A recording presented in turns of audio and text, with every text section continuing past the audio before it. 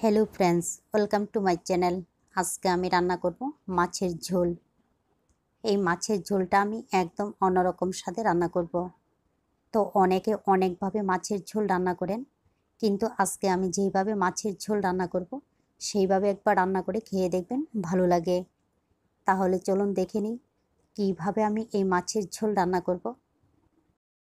মাছের তরকারি রান্না করার জন্য প্রথমে আমি মাছগুলিকে ফ্রাই করে নেব। তার জন্য কড়াইতে বেশ খানিকটা তেল গরম করে নিয়ে এর মধ্যে লবণ আর হলুদ দিয়ে মাখিয়ে রাখা মাছগুলি দিয়ে দিচ্ছি। তো এইখানে আমি ছয় টুকরো কাতলা মাছ নিয়েছি। আপনারা যে কোনো ধরনের মাছ দিয়ে কিন্তু এই তরকারিটা রান্না করতে পারেন। তো এপিট উপিট উল্টে পাল্টে ব্রাউন কালার করে এইগুলিকে কিন্তু ফ্রাই করে নিতে হবে।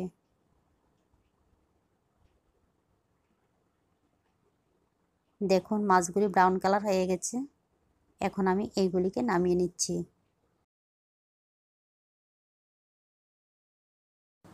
বাকি তেলের মধ্যে দিয়ে দেব গ্রেট করে রাখা আলু।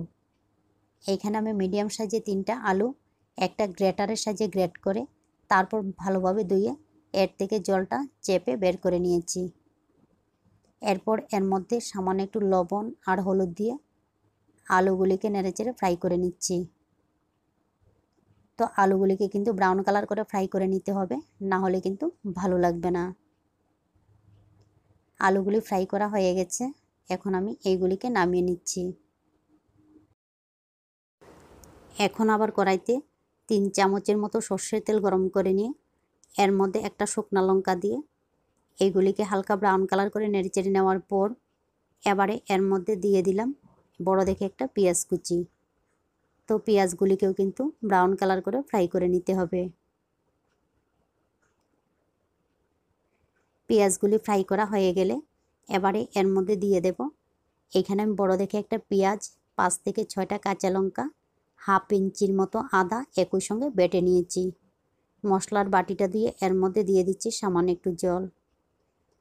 এরপর এর মধ্যে দিয়ে দিলাম একটা টমেটো কুচি।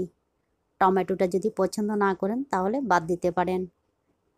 আর এখানে আমি জিরার গুঁড়া, ধনিয়ার গুঁড়া মিলিয়ে হাফ চামচ আর লাল মরিচের গুঁড়া এক চা চামচ একই সঙ্গে দিয়ে দিলাম। আর দিয়ে দিলাম হাফ চা চামচ হলুদের গুঁড়া, পরিমাণ মতো লবণ।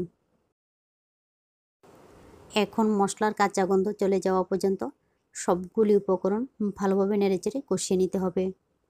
তবে পেঁয়াজ বাটা দিলে কিন্তু মশলাটিকে ভালোভাবে কষিয়ে নিতে হয়, না হলে পেঁয়াজ বাটার কাঁচা গন্ধ থাকলে ভালো লাগে না। কম আছে, এগুলিকে নেড়েচেড়ে কষিয়ে নেওয়ার পর এবারে এর মধ্যে দিয়ে দিলাম আগে থেকে ফ্রাই করে রাখা আলু।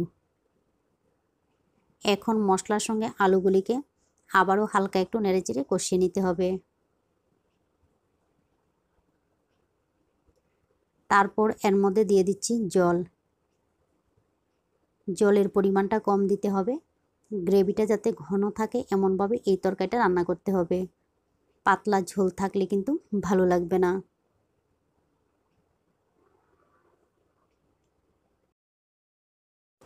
গ্রেভিটা ফুটে উঠলে এবারে এর মধ্যে দিয়ে দিচ্ছি আগে থেকে ফ্রাই করে রাখা মাছের টুকরোগুলি। আর একই সঙ্গে দিয়ে দিলাম দুই থেকে তিনটা আস্ত কাঁচা লঙ্কা। গ্রেভির সঙ্গে মাছের টুকরোগুলিকে হালকাভাবে মিশিয়ে নেওয়ার পর আবারও কম আছে, ডাকনা দিয়ে রান্না করব। প্রায় পনেরো মিনিটের মতো কম আছে, ডাকনা দিয়ে রান্না করে নেওয়ার পর দেখুন, গ্রেভিটা খুব সুন্দর হয়েছে। আর আমি আবারও বলছি, এই রান্নার মধ্যে পাতলা ঝোল থাকলে ভালো লাগবে না। তারপর এর মধ্যে দিয়ে দিলাম সামান্য একটু ধনিয়া পাতা কুচি। আপনারা চাইলে এক চা চামচ গরম মশলার গুঁড়াও কিন্তু ব্যবহার করতে পারেন। এইগুলিকে হালকাভাবে মিশিয়ে নেওয়ার পর আমার রান্না সম্পূর্ণ রেডি এইভাবে আলু দিয়ে মাছের ঝোল রান্না করে খেয়ে দেখবেন, ভালো লাগে। আর ভালো লাগলে অবশ্যই লাইক শেয়ার এবং সাবস্ক্রাইব করবেন। আপনারা ভালো থাকবেন, সুস্থ থাকবেন, আর আমার নিত্য নতুন ভিডিও দেখবেন।